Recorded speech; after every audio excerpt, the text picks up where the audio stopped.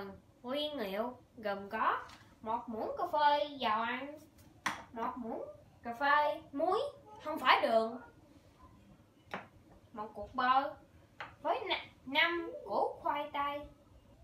Đầu tiên là gọt vỏ khoai tây.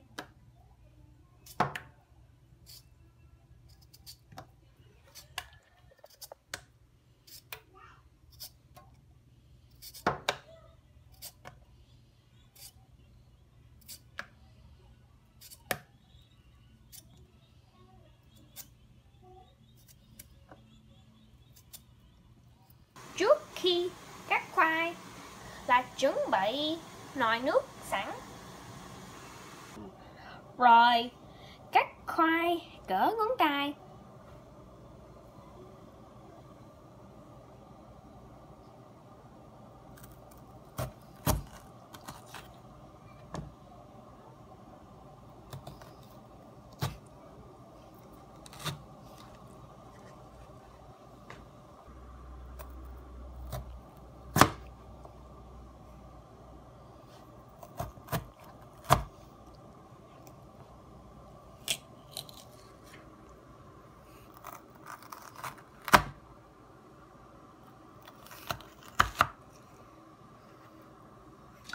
Rồi, để vô thau nước có một muỗng cà phê muối. Bị sẵn cái thau nước đá chừng nào nước sôi là sôi lắm.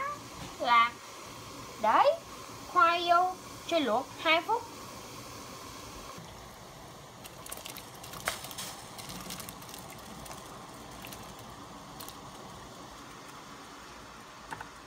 Trộn trộn lên đổ qua xả nước lạnh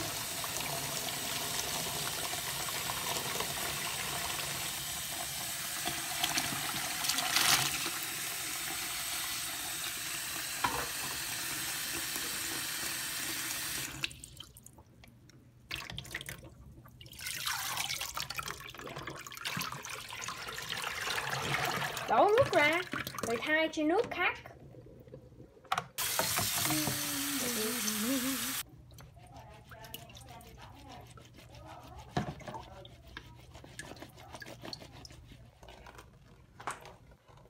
Rồi, ngâm vô nước đá cho khoảng 10 phút.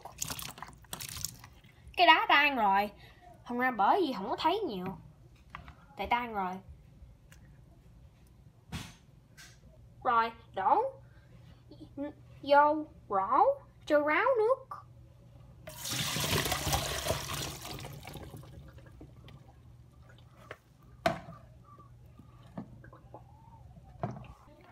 Đổ khoai trên khăn rồi để vô tủ lạnh cho 30 phút.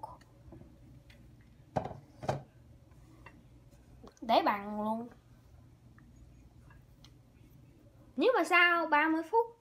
Là khoai chưa khô. Là lau khăn chưa khô.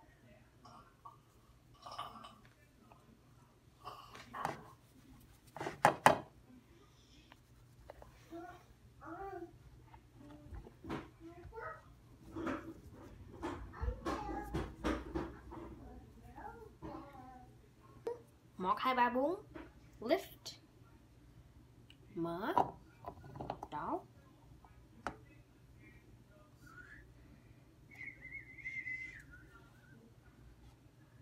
rồi cộng một phần ba muỗng cà phê, muối với một muỗng cà phê dầu. Lắc.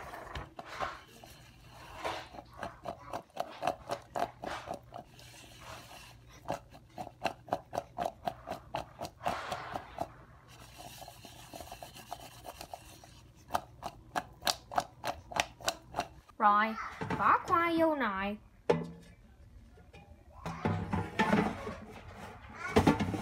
Rồi, nướng ở 280 độ F ốp 10 phút.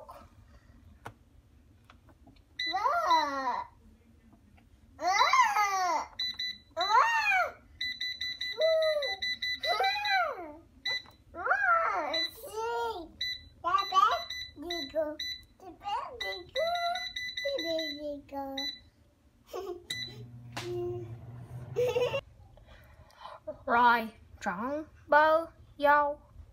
Rồi, nướng ở 340 độ F cho 10 phút nữa. Cho trộn bơ dâu. Lắc đi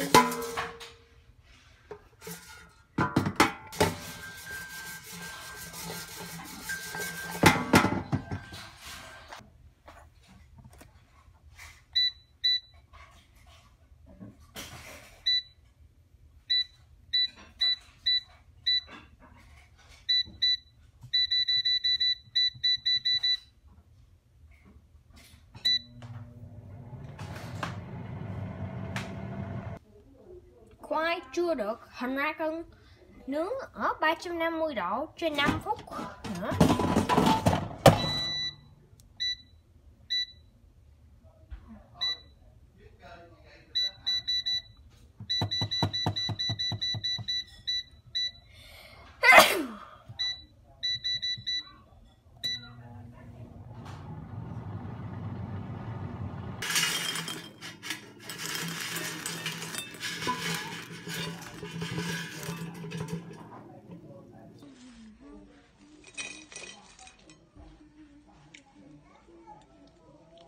This is amazing, Mom.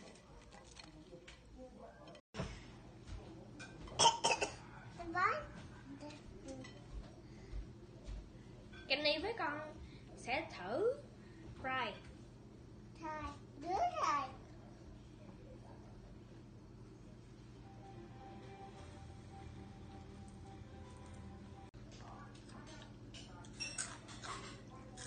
Uh, nó giòn lắm. Dạ ngon lắm. Y như của chợ.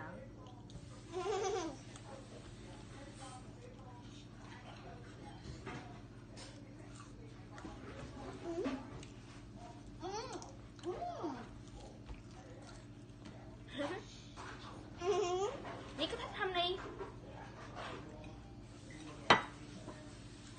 Nó biết gì ăn? Nó nó không có nói nhiều hứng giòn với ngon lắm. Cháu của trợ